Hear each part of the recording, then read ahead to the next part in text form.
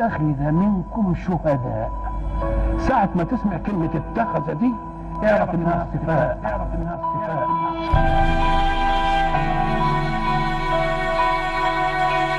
ما ماتوش من أجل منفعة شخصية أو من أجل منفعة ذاتية أو من أجل مجد شخصي أو من أجل شيء ذاتي بل تركوا أولادهم.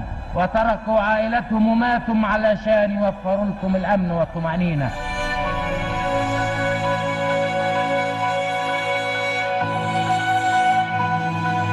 سوف نسلم أعلامنا مرتفعة هاماتها عزيزة صواريخ وقد تكون مخضبة بالدماء ولكننا ظللنا نحتفظ برؤوسنا عالية في السماء وقت أن كانت جباهنا تنزف الدم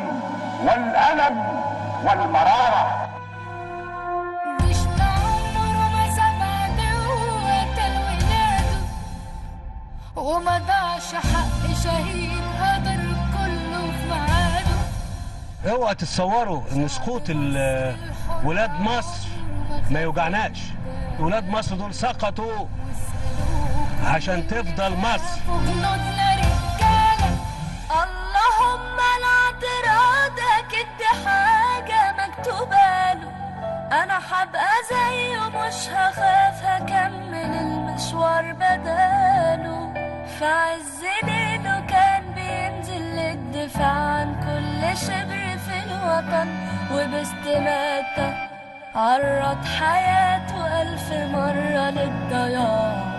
يستاهلش كره أبدا أو شماتة وأحب أفكركم جميعا لو نسيتوا اللي اتحرم دلوقتي منه أهل بيته وعشان آمنا بالقدر وبالشهادة قلنا لك بسم الله الرحمن الرحيم. السلام عليكم ورحمة الله وبركاته. الحقيقة يعني يمكن من الأيام القلائل اللي الواحد بيبقى يحب أو يتمنى يكون على الشاشة فيها كان يوم الجمعة اللي فاتت. والحقيقة ما كنتش هكون أكثر آه، آه، وطنية ولا أكثر احترافية من زميلنا محمد الدسوقي رشدي. والحقيقة قام بدوره كما ينبغي أن يكون يعني. آه، حاولنا بقدر الإمكان إنه يعني يكون عندنا يعني تغطية مختلفة للحدث. جات لنا الحقيقة من من بعض الزملاء للشهيد آه، آه، أحمد آه، أو العقيد أحمد المنسي وده الحقيقة يعني من كلامي مع بعض الزملاء ليه. في ال- في الكتيبة وبعض الزملاء ليه المدنيين وبعض المقربين منه وبعض الجيران وهو لآخره. الحقيقة الكلام عن الراجل ده مختلف تماما يعني أو مش تماما لكن بيبقى كل واحد ليه آه، آه، سمة معينة كده وليه طبيعة معينة. إحنا طبيعي إحنا يعني شغلنا ماشي عادي النهارده وهناخد فقراتنا كلها وهو لآخره.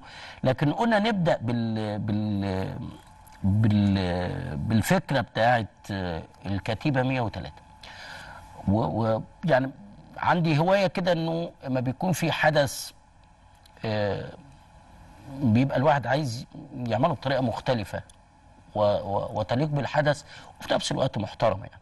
يعني التيشيرت اللي هو مكتوب عليه صعقه 100 وكتيبه 103 آه، صعقه ده البتاع الحاجات دي أنا بحتفظ بيها آه، لحد ما أموت يعني. كل الحاجات اللي الواحد بي بي بيحاول يعملها بطريقة مختلفة وتكون محل تقدير واحترام بنحتفظ بيها لحد ما نموت يعني.